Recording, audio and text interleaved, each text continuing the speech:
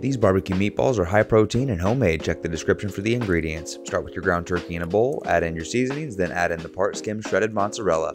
Then add 50 grams of liquid egg whites as a binder and lightly mix it with your hands. Don't overwork it, you're not trying to make meatloaf. Pro tip, coat your hands in water when forming the meatball so it doesn't stick to your hands and form 30 gram meatballs. Put each one of them in the air fryer and then hit each one with a non-calorie cooking spray. Then close it, cook it at 400 degrees for 9 minutes. When it gets to the halfway point, open it and flip each one with your tongs. Close it, let it finish the drill. When the drill's all finished up, open it, transfer it out onto a plate, and you've got meatballs that are 40 calories each with 5.5 grams of protein. Cover it in your favorite low calorie barbecue sauce. We're using my homemade mesquite barbecue. Check the channel for that recipe and follow the channel if you want more recipes like